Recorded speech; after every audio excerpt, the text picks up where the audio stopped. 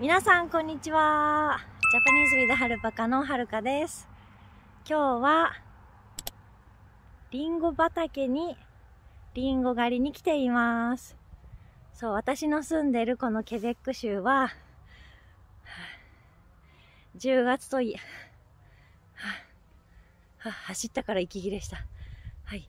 私の住んでるこのケベック州は10月といえば、リンゴ狩りの季節です。ただ、今回私たちはこの10月、今、20何日だ ?10 月の最後の方の日曜日なので、もうね、リンゴがね、残ってない。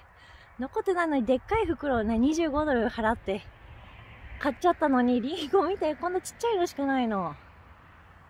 そう。しかもまだ緑とか、あとはもう腐ったやつしか残ってなくて、だからご覧の通り、見て、人がいません。そう、まあでも、うちらの家族以外にも、ちらほら、あの、同じような境遇で、リンゴ狩りに来たけど、リンゴがないよっていう人がいっぱいいます。そう、このアクティビティは日本語でリンゴ狩りと言います。で見て見て、今ね、ちょうどリンゴがないけど、その代わり、綺麗な紅葉が見えますか？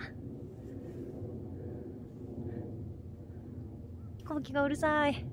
なので今日はそれに関連する言葉を、まあちょっとだと思いますが、一緒に勉強しましょう。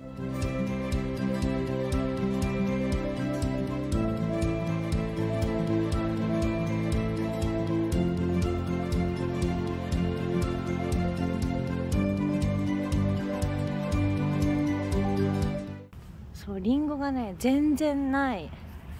見つかりません。赤くて美味しそうなリンゴがね、全然、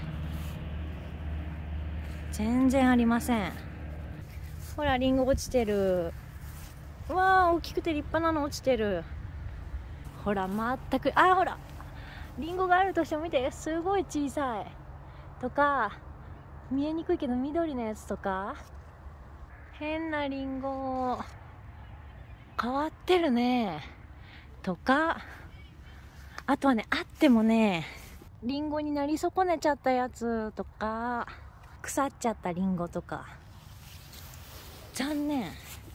あ、リンゴと思ってもね、そう赤い色を見つけてもね、小さいの、さっきのほら、私がずっと持ってるやつと同じぐらい。小さいこんなん食べれんね。え、ちょっと25ドル無駄になるのかな袋の。嫌だよ。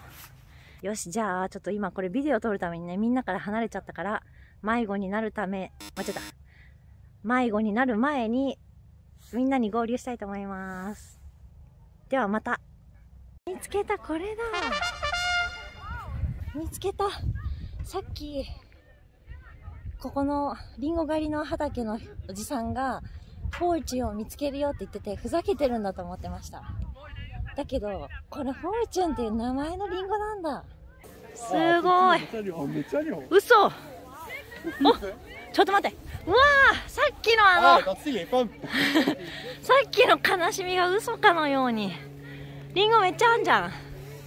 よかったね。今から積みます。くるくる回して、くるくるくるくる回して、そうすると自然に離れるはず。できない。あ、できた。はい。リンゴを積みました。いろんなのからね、ジュース。もうリンゴジュースいいんじゃない？にどうする？ちっちゃいの買おうか。シードルと呼ばれるリンゴから作ったお酒があります。そしてこのドーナツは私の朝ごはん用に買いました。はい、こんな感じで私たちのリンゴ狩りが終わりました。皆さんが新しい言葉とか表現とかが学べていると嬉しいです。じゃあ次のビデオでお会いしましょう。またねハッピージャパニーズナーニー